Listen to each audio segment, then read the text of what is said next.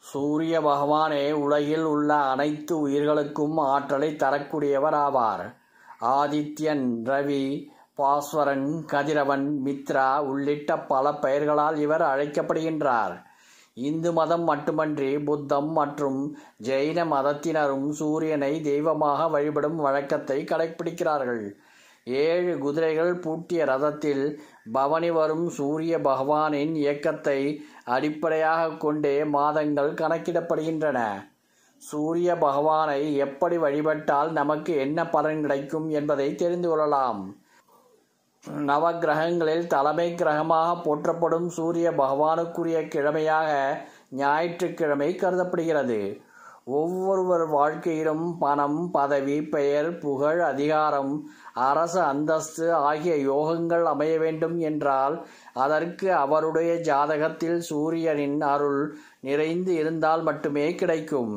ஞாயிற்றுக்கிழமைகளில் விரதமிருந்து சூரிய பகவானை வழிபடுவதால் சூரியனின் அருளும் எதிரிகளை வெல்லும் பலமும் கிடைக்கும் என்பது நம்பிக்கை.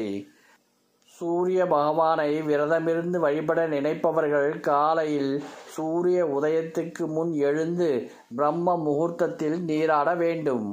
பூஜை செய்யும் இடத்தை நன்கு சுத்தம் செய்ய வேண்டும். அர்ச்சனைக்கு ஒரு தட்டை தயார் செய்து அதில் கொஞ்சம் அரிசி குங்குமம் சிவப்பு நிற மலர்கள் ஏதேனும் ஒரு பழம் ஆகியவற்றை வைத்துக்கொள்ள வேண்டும். விளக்கை ஏற்றிக்கொண்டு அதை சூரியன் உதிக்கும் திசை நோக்கி வைத்து ஒரு சிறிய சொம்பில் தண்ணீர் எடுத்து சூரிய பகவானை நோக்கி வழிபட்டு கொண்டே அந்த அர்ச்சனை தட்டின் மீது தீர்த்தம் போல் தெளிக்க வேண்டும். பூஜை முடிந்தவுடன் நீங்கள் சாப்பிட வேண்டியது ஏதேனும் இனிப்பு வகையாக இருக்க வேண்டும். குறிப்பாக வெள்ளம் சேர்த்து செய்யப்பட்ட இனிப்பை சாப்பிடலாம். அதன் பின் மாலை வரை தண்ணீர் பால் தவிர வேறு எதுவும் சாப்பிடக்கூடாது.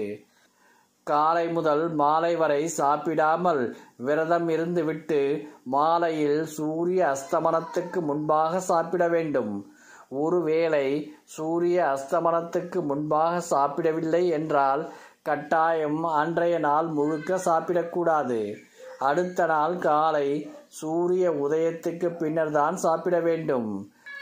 மேற்கொள்பவர்களுக்கு உடல் ஆரோக்கியம் மேம்பட்டு ஆயுள் நீடிக்கும். கூடிய நோய்கள் ஏதும் அண்டாது.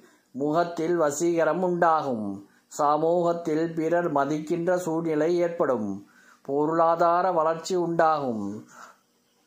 செய்வினை மாந்திரீகம் போன்றவை சூரிய விரதம் இருப்பவர்களை அண்டாது. தன்னை எதிர்க்கும் எதிரி அரசனாகவே இருந்தாலும் ஞாயிற்றுக்கிழமை விரதமிருந்து சூரிய பகவானை வழிபட்டால் எதிரிகள் வீழ்ந்து போவார்கள். அத்தகைய மகத்துவம் வாய்ந்ததுதான் இந்த ஞாயிற்றுக்கிழமை சூரிய விரதமாகும். இந்த விரதத்தை ஒவ்வொரு ஞாயிற்றுக்கிழமையும் தவறாமல் இருந்து வழிபடுபவர்கள் வாழ்வில் மிகப்பெரிய மாற்றத்தை சந்திப்பார்கள்.